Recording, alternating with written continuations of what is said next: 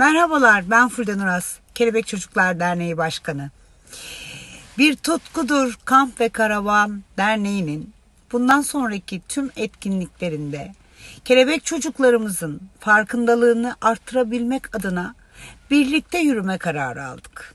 Öncelikle Murat Emir Beyefendi'ye bu konuda son derece duyarlı olduğu için sonsuz teşekkür ediyorum ve değerli başkanımız Hayriye Yıldız'a ve tüm dernek yöneticilerine ve üyelerine. Ee, kelebek hastalığı maalesef nadir bilinen hastalıklardan ve ülkemizde doktorların da çok az bildiği bir hastalık ve derneğimize kayıtlı 517 tane meleğimiz var. Bizden her gün medikal destek bekleyen.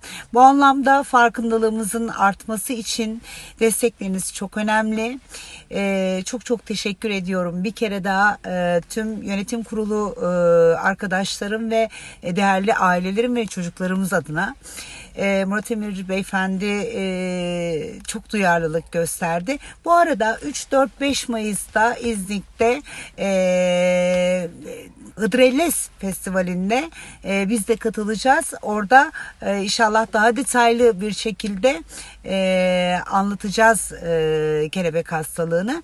E, görüşmek üzere. Tekrar tekrar çok teşekkür ediyorum efendim. E, sağ olun, var olun. İyi ki varsınız.